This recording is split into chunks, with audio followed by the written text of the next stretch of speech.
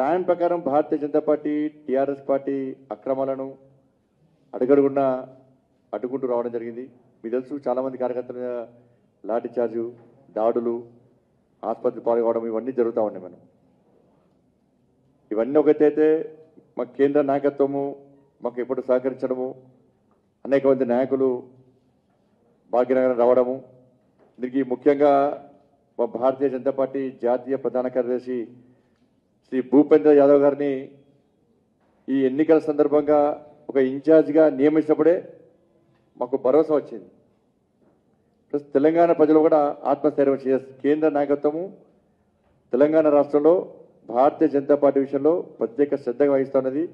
TRS party యొక్క ప్రజా వ్యతిరేక విధానాల మీద అవినీతి మీద కుటుంబ పాలన మీద దృష్టి సారించిన విషయం ఒక సంకేతం వాళ్ళ తెలంగాణ సమాజంలో కూడా రావడం జరిగింది. వారు వచ్చిన తర్వాత ప్రత్యేకంగా కార్యాచరణ రూపొందించడం ఇవాళ ఛార్జ్షీటు నవంబర్ ట్వంటీ సెకండ్ రోజున టీఆర్ఎస్ ప్రభుత్వంపై కేసీఆర్ వైఫల్యాలపై ఛార్జ్షీట్ను కేంద్ర మంత్రి శ్రీ ప్రకాష్ జావడేకర్ గారు వాళ్ళు విడుదల చేయడము. నవంబర్ ఇరవై మూడున మా యువమోర్చా జాతీయ అధ్యక్షుడు తేజస్వి సూర్య గారు చేంజ్ హైదరాబాద్ ఉద్యమాన్ని ప్రారంభించడం జరిగింది. సంతకాల సేకరణ దాని తర్వాత వివిధ రాష్ట్రాలకు సంబంధించినటువంటి ప్రజలతో సమావేశం జరగడం. నెక్స్ట్ డే తెలంగాణ ఉద్యమానికి ఒక ఊపిరి పోరుగట్టినటువంటి ఉస్మాన్ యూనివర్సిటీలో అమరవీరులకు నివాళులర్పించడం. అక్కడ ఉన్నటువంటి విద్యార్థులను కలిసి ఉందాం కలిసి సమస్యలు తెలుసుకుందామని చెప్పి ఆలోచనతో ఉస్మాన్ యూనివర్సిటీ పోయే ప్రయత్నం చేస్తే అక్కడ కూడా వారిని అడ్డుకొని వారిని అరెస్ట్ చేసే ప్రయత్నం చేయడం. నిజంగా ఈ తోపులాట ఈ తోపులాటలో తెలంగాణ ఉద్యమకారుడైనటువంటి విఠల్ గారికి కాల్ ఫ్రాక్చర్ అయింది. చాలామంది కార్యకర్తలకు గాయాలైనవి. కనీసం ఒక జాతీయ యువమోర్చా అధ్యక్షుడు కూడా ఉస్మాన్ యూనివర్సిటీకి పోయడానికి కూడా ఇలా రాష్ట్ర ముఖ్యమంత్రి భయపడుతుందంటే ఒక్కసారి మనం అర్థం చేసుకోవాల్సిన అవసరం ఉంది.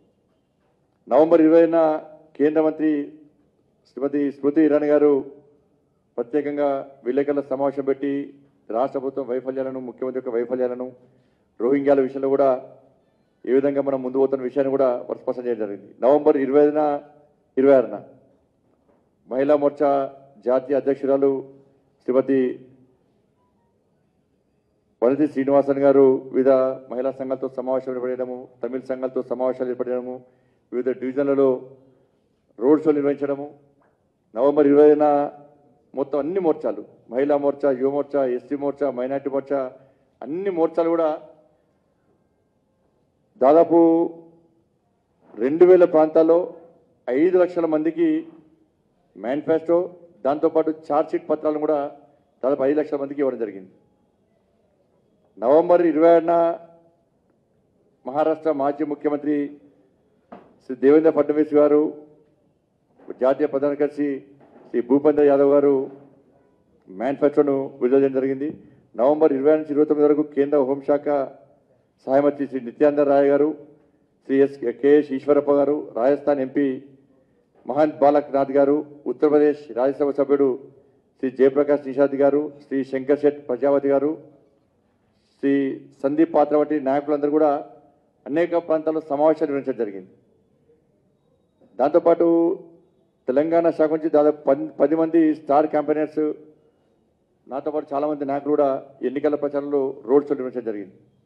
నవంబర్ ఇరవై ఏడున ఇంకా ప్రచారాన్ని ముందు తీసుకోవాలనే ఉద్దేశంతో భారతీయ జనతా పార్టీ జాతీయ అధ్యక్షుడు శ్రీ జగప్రసాద్ జగ జగప్రకాష్ నడ్డా గారు రావడము మేధావుల సమావేశాన్ని ఏర్పడేయడము దాంతోపాటు రోడ్ షో ఇలా నగరంలో ఏర్పడేయడము ఈ రోడ్ షోలో దాదాపు ముప్పై వేల మంది ప్రజలు స్వచ్ఛందంగా పాల్గొనడం జరిగింది.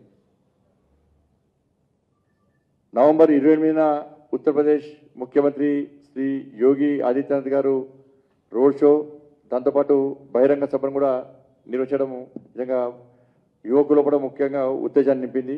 నవంబర్ ఇరవై తొమ్మిదిన కేంద్ర హోంశాఖ మంత్రులు శ్రీ అమిత్ షా గారు వారి పర్యటనతో ఇంకా కార్యకర్తలు కూడా జోష్ తెలంగాణ ప్రజలు కూడా ఆలోచన వచ్చింది కాబట్టి భారతీయ జనతా పార్టీ ఏ ఎన్నికలైనా కూడా ప్రతిష్టాత్మకంగా తీసుకుంటాం. ఇవి గల్లీ ఎన్నికల ఢిల్లీ ఎన్నికలని కాకుండా ప్రతి ఎన్నికలను కూడా అందరూ కూడా ప్రజలతో ఎన్నిక ఎన్నుకోబడే ప్రజాప్రతినిధులు.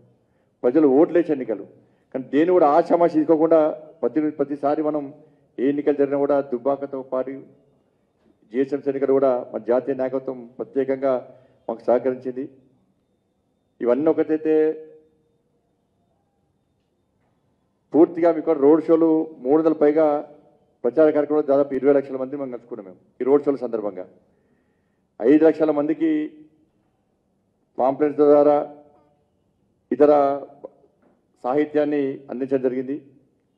ఫేస్బుక్ అరవై ఎనిమిది లక్షల ఫేస్బుక్ యూజర్లలో దాదాపు సుమారు ఒక లక్ష షేర్లు నాలుగు లక్షల లైక్లు ముప్పై లక్షల పోస్ట్ రీచ్ సాధించాం మేము. దాంతోపాటు ట్విట్టర్ నవంబర్ ఇరవై నుంచి ఇరవై తొమ్మిది ఈ కాల ఈ రోజుల్లో నేషనల్ టాప్ రెండులో ఏడు సార్లు స్థానం సాధించాం మేము.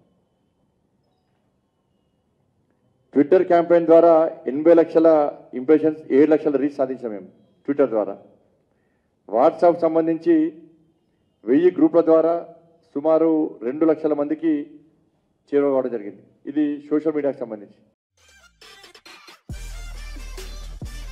ఈ వీడియో మీకు నచ్చితే ఈ వీడియోను లైక్ చేయండి షేర్ చేయండి మా ఛానల్ సబ్స్క్రైబ్ చేయండి. బెల్ ఐకాన్ నొక్కడం మర్చిపోకుండా.